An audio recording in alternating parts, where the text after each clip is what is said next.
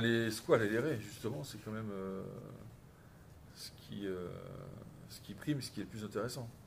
Alors, nous, on est inscrit dans un, groupe d'aquariums européens qui travaille justement sur la production des, des, squales et des raies. Et on, transmet nos, informations d'élevage, les accouplements, on est au courant de, tout ce qui se passe, euh, on échange les uns les autres pour justement régler nos paramètres au mieux pour pour euh, observer des, comportements de reproduction et que ça aboutisse dans, les meilleures conditions. La température et, la photopériode, c'est l'alimentation. Euh, l'alimentation que vont avoir les animaux, euh, les géniteurs, hein, suffisamment riche pour le développement des embryons, mais pas trop pour pas, pour pas leur causer des problèmes hépatiques et, métaboliques.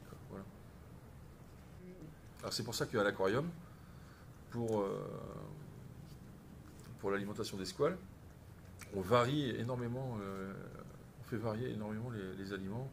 On utilise du poisson blanc, du calamar, de la truite, du maquereau, des sardines, des pinces de crabe pour certaines espèces, des crevettes, des moules.